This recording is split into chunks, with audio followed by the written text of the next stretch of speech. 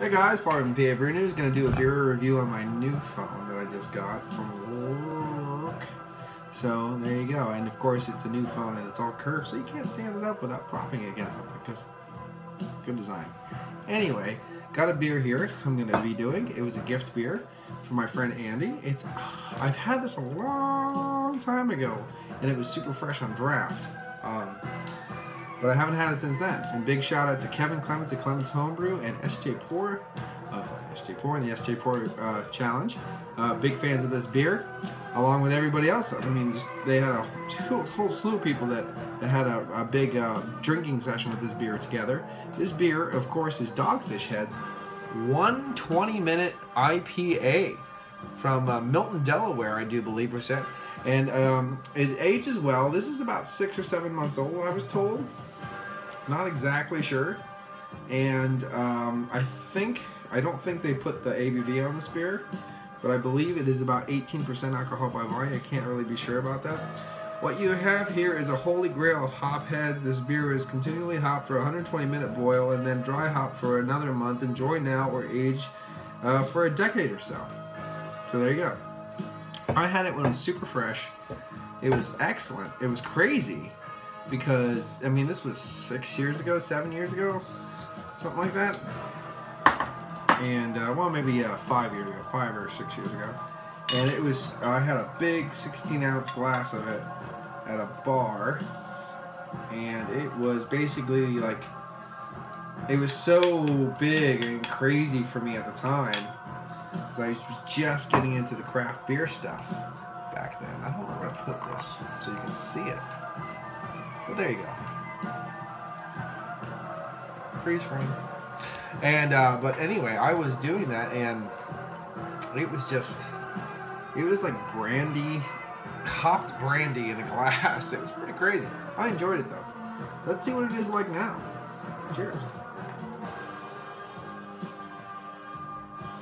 Hmm, very musty. Uh, there's a mustiness to this big because and then the mustiness comes with orange and tangerine with it. Yeah, orange, tangerine, uh, pine, no, or pineapple. Yeah, soft mustiness, uh, a lot of orange, tangerine, pine, uh, pineapple, a little bit of pine, subtly earthiness underneath that. Yeah, but a lot of nice juicy fruits. Cheers.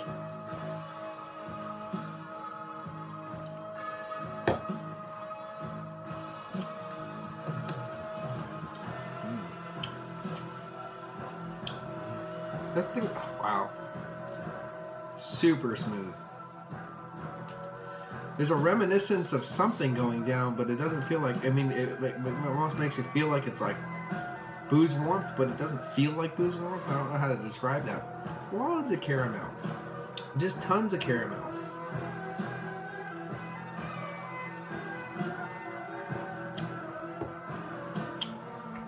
Yeah, tons of caramel, almost the slightest hint of a confectionery sugar sweetness.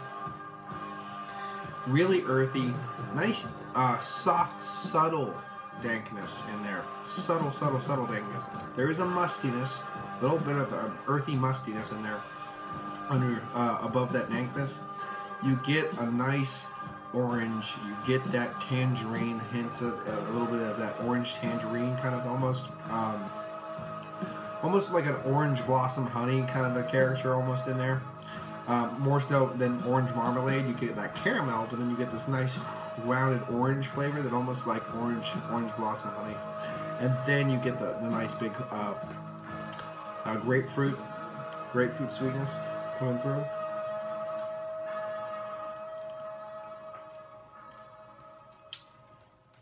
Hmm.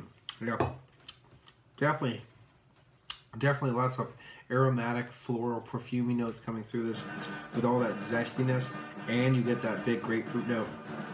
Underneath that, you have that orange flower honey, almost orange blossom honey, and then underneath that, you have that mustiness, the dank, the soft dankness. Of course, this would age ama uh, amazingly. Who, 10 years old, a decade? Do the decade like it says? Hell yeah, it would be just it would be the most savory thing in the world, basically.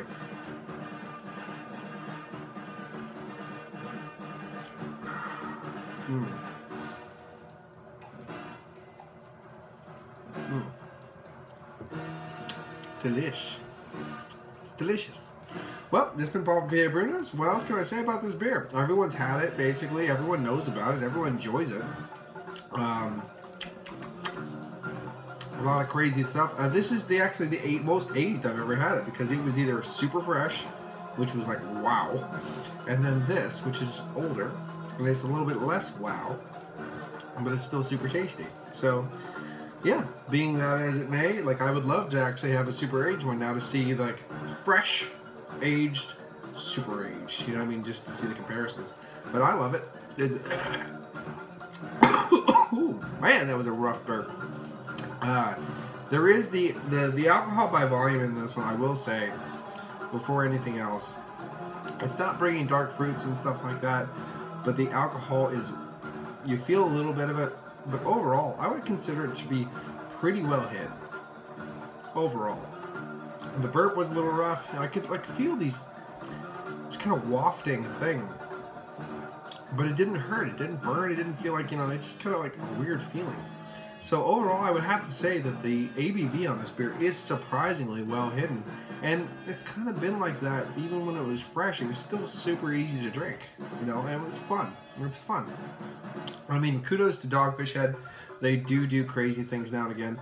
I'm a 50-50. Either I like Dogfish Head beers or I don't. I mean, it just they are very polarizing beers overall. Um, and this one I definitely enjoy. Uh, right now, I'm going to sit at probably about a 9.5 area. It is really great, blah, blah, blah, blah, blah. But it's not like I had it when I was on tap. You know what I mean? Like, that was like, but this particular bottle at this particular time is getting a 9.5, if you know what I'm saying. So there you go. But 9.5 for the 120 minute, and it's not going to be for any, everybody. So I mean, it's just one of those things, but it's really fun to give it a go. And of course, it's not a cheap bottle at all. So I mean, don't expect that you can get a sixer for $12.99 or anything like that. So I mean, it does have its merits, but it does have its downfalls. Anyway, it's been Paul for PA Brew News. Cheers.